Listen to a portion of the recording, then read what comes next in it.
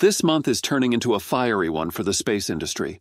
We just witnessed Blue Origin's New Glenn make history a few days ago by landing its booster on a ship in the ocean for the first time, and now ULA has finally launched the Atlas V after a long break.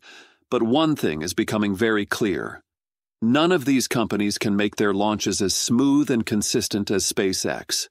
And just like Blue Origin's mission, ULA's launch also ran into several problems before liftoff, and we're going to break down exactly what happened in this video. Before we dive in any deeper, make sure to subscribe to the channel so you don't miss any future updates. After a very long time, ULA finally launched the Atlas V. But this launch showed clearly how many problems the company is still facing. The mission itself was a normal communication satellite delivery, something Atlas V has done many times. The real issue was everything that happened before liftoff. The launch was delayed again and again because a liquid oxygen vent valve on the booster was not working properly. ULA had to stop the countdown more than once, take the rocket back to the building, change the part, and bring it out again. Only after all that did the Atlas V finally take off. Yes, the rocket performed perfectly once it left the pad, but it took way too much effort to get there. Atlas V is one of ULA's most trusted rockets. It started flying in the early 2000s and has completed close to 100 missions with almost perfect reliability. It stands around 60 meters tall, depending on the configuration, and uses the RD 180 engine on its first stage. That engine burns kerosene and liquid oxygen and produces close to a million pounds of thrust at liftoff. The upper stage uses the RL 10 engine, which is known for being extremely efficient in space.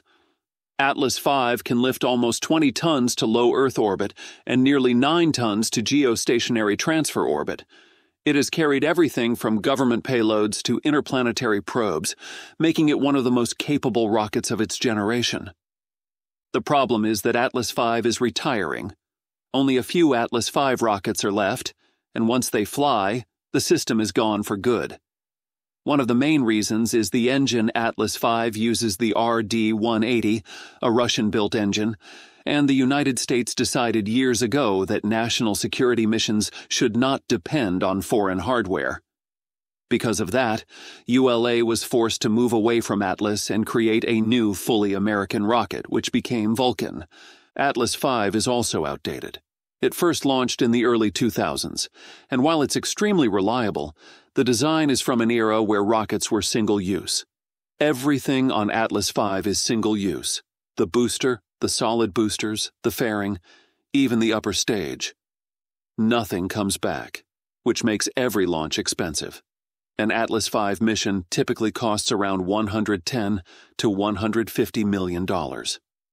By comparison, a Falcon 9 launch costs around $60 million, and the booster can be reused many times.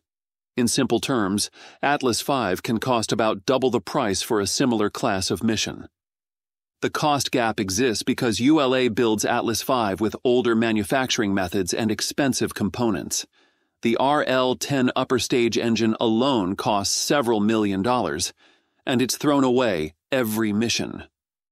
ULA is now hoping to replace the Atlas V with Vulcan, but Vulcan already has problems of its own. The rocket was originally supposed to fly in the late 2010s, but it kept slipping because its main engine, the BE 4, wasn't ready. Blue Origin had repeated issues with the engine and delays in building enough units for testing. For years, ULA could not move forward because they simply didn't have engines to work with. In some years, Blue Origin delivered only a very small number of engines, far below what ULA needed. Even after the engines arrived, they weren't perfect. Several BE 4 units needed rework after testing, showed inconsistent performance. And for ULA to reach a normal launch rate, they need dozens of engines every year, something Blue Origin has never produced before. The first Vulcan flight reached orbit, but engineers still noticed behavior in the upper stage that needed more evaluation. Then, on another early mission, one of Vulcan's solid boosters had a nozzle issue where part of the nozzle broke off during ascent. Because of all this, Vulcan's launch rate is far below what ULA originally promised. The company once said Vulcan would fly many times a month and replace both Atlas and Delta quickly. Instead, the rocket is expected to complete only a few missions across the entire year. This whole list of problems is putting real financial pressure on ULA. They bring in around $2.6 billion in revenue per year, which sounds big, but their costs remain very high. Meanwhile, SpaceX is scaling far beyond that. SpaceX's revenue in recent years is estimated at around $35 billion annually, and they launch dozens of missions each year, sometimes more than 50 ULA by comparison. Launches often fewer than 10 missions annually. Even on a yearly basis, the numbers clearly show SpaceX pulling ahead with many more launches at a much lower cost per mission. All of this has led to real rumors that ULA might be sold. The estimated price being mentioned is only a few billion dollars, far lower than what a major launch provider would normally be worth. Meanwhile, Blue Origin recently did something almost nobody expected. They finally landed the New Glenn booster. This was only the rocket's second flight, and because the first launch failed to stick the landing, most people assumed this one would end the same way, but this time they actually pulled it off. On the first launch earlier in the year, New Glenn reached space, but the booster couldn't execute its landing burn correctly. The engines didn't restart the way they were supposed to, the descent wasn't stable, and the booster ended up lost in the ocean. That failure created a lot of doubt because New Glenn had already been delayed for years, mostly due to problems with the BE 4 engines. So going into the second attempt, expectations were low. Then launch day arrived. After multiple weather delays and solar activity concerns, New Glenn finally lifted off. All seven BE 4 engines ignited, the rocket cleared the tower smoothly, and the ascent looked clean. A few minutes into flight, the first stage separated and began its fall back toward Earth. This is where everyone expected trouble again. But instead, the booster flipped around, reignited its engines, and stabilized its descent. Around the eight minute mark, the landing burn began. The booster lined itself up with Blue Origin's massive ship waiting in the Atlantic. A few seconds later, it touched down vertically, surprising almost everyone who saw it live. After years of delays, engine issues, and a failed landing attempt, New Glenn finally proved it could launch and recover its booster in one piece. New Glenn itself is a huge rocket, much larger than Falcon 9. It stands around 90 meters tall with a 7 meter diameter. The first stage carries seven BE 4 engines running on methane and liquid oxygen, giving it far more thrust than Falcon 9. In terms of lifting capability, New Glenn can carry almost twice as much mass as Falcon 9 in some configurations. It was built with reusability in mind from the start, with the goal of flying each booster many times once the system matures.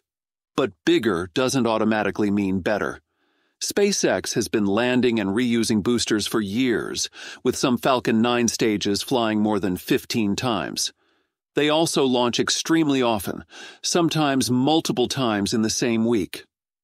But Blue Origin still needs to prove that New Glenn can fly regularly, not just once every several months. Another major difference is reliability and track record. Falcon 9 has completed hundreds of flights and has become the most dependable rocket in Operation New Glenn. On the other hand, is only two launches into its career. And while the second landing was a huge milestone, the program still faces big challenges Blue Origin must deliver engines consistently, increase its production speed, and show that the landing success wasn't a one-time event. That's it for this video. Thanks for watching and we'll see you in the next one.